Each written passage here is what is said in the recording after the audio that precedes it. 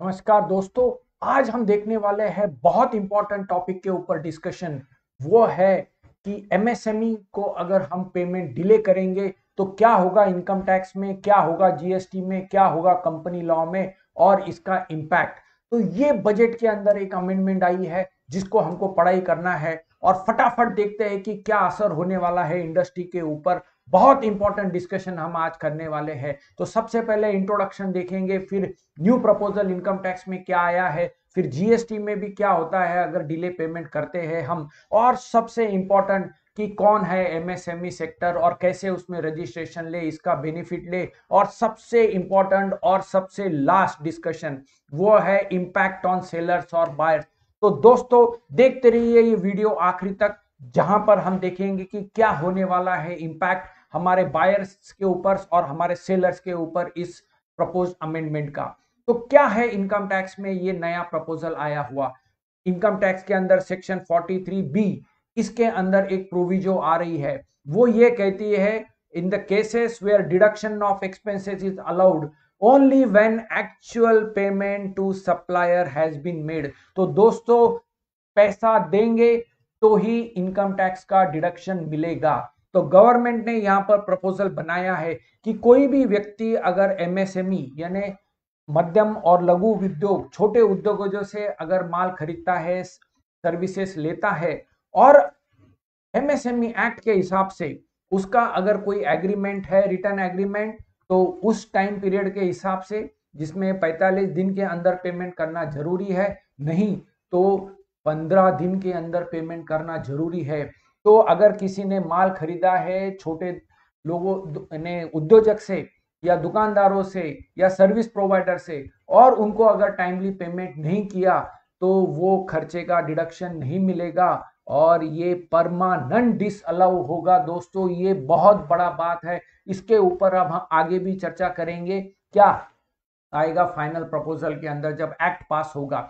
Next what will be the impact in GST दोस्तों GST के अंदर ऑलरेडी सेक्शन 16 है। ये कहता है कि 180 दिन के अंदर अगर पेमेंट नहीं करेंगे तो आईटीसी रिवर्स करना पड़ेगा और पेमेंट भी करना पड़ेगा। इस बजट के अंदर इसकी स्पेसिफिक और भी क्लियरिटी आई है इंटरेस्ट के पेमेंट की। तो अगर छह महीने के ऊपर अगर पेमेंट नहीं किया तो आईटीसी की भी मार पड़ेगी और ये सभी के लिए लागू है। इसमें एमएसएमई भी आ जाते हैं। नेक्स्ट कंपनी लॉ के अंदर क्या है? जो भी बड़ी बड़ी कंपनीज़ है या जो कंपनीज़ रजिस्टर्ड है, उनको कंपनी लॉ के अंदर कोई ऐसा डिसअलाउंस का प्रावधान तो नहीं है, पर उनको जो भी एमएसएमई वेंडर्स है, उनके डिस्क्लोजर देना है कि कितना पुराना शेड्यूल है, कितनी आउटस्टैंडिंग है आपकी एमएसएमई सेक्टर की और ये फाइनेंशियल स्टेटमेंट में बैलेंस शीट में देना पड़ता है।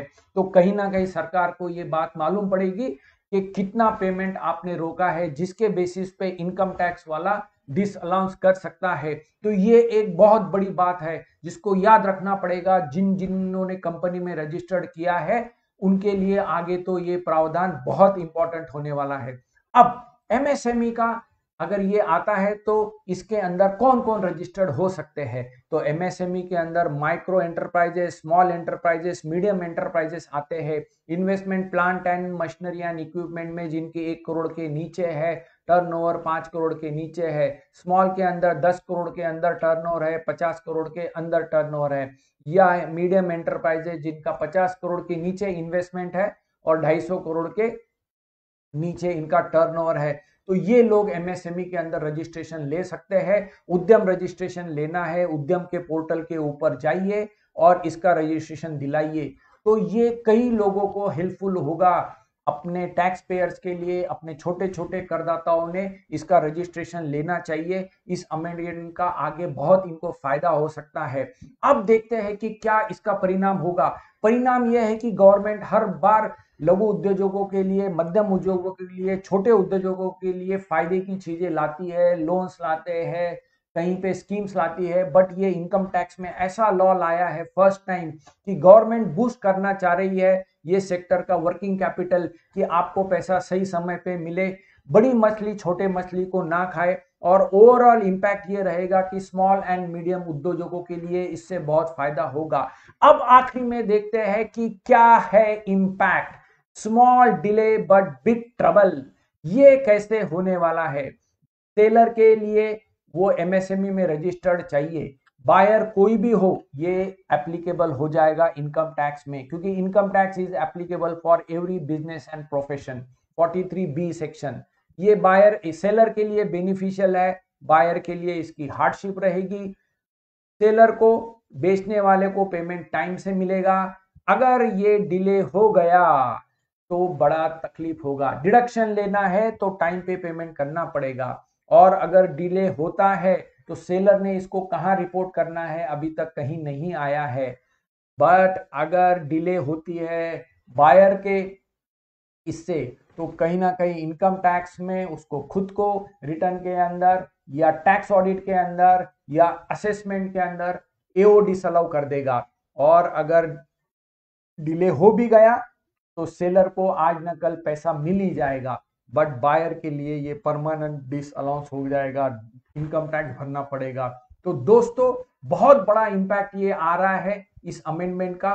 खूब चर्चा हो रही है। और भी इसके ऊपर क्या आता है वो देखेंगे हम। तो ये रही अपनी समरी कि हमको कई लोगों को रजिस्टर्ड कर लेना चाहिए। अगर हम खुद भी इसमें रजिस्टर्ड होते हैं एमएसएमई तो कर लेना चाहिए। और आगे वो नंबर, उद्यम रजिस्ट्रेशन करस्पॉन्डेंस में इनवॉइस में, सारे लेटर्स पे ईमेल्स पे कोट कर सकते हैं। छोटा सा ये पेमेंट का इशू रहेगा, पर डिले हो गया तो बड़ा ट्रबल होगा। इसका अवेयरनेस क्रिएट करना ज़रूरी है। अकाउंटिंग में भी उस हिसाब से क्रिएटर्स की बाइफर्केशन करना पड़ेगा। और देखते हैं कि आगे ये एक्ट पास होने तक क्या इसका स्वरूप आता है। तो दोस्तों, ये था एक बहुत इंपॉर्टेंट डिस्कशन कर नीति का। आपके कुछ भी इश्यूज़ हो, सुझाव हो तो ज़रूर मुझे भेजिए। तो देखते रहिए कर नीति का यूट्यूब चैनल धन्यवाद।